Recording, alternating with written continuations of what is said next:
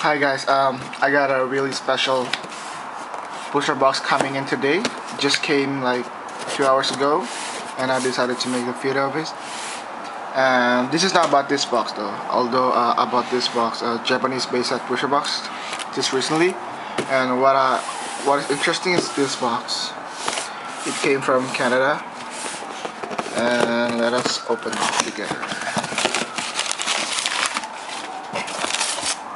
Yep, it's a seal Aquapolis booster box.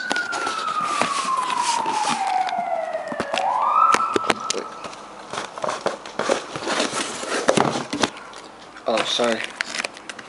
So here it is. This book is in uh, absolute mint condition with sharp corners. I was lucky I got this like the buyer uh, listed this on eBay only like two hours and then I saw it and I just bought it. I, I had to buy it. Like this is the artwork is really really cool. Awesome. Alright. So alright. And I'm gonna make a video next about my trade with the SMG Quest. So you guys can check it out too. Okay thanks bye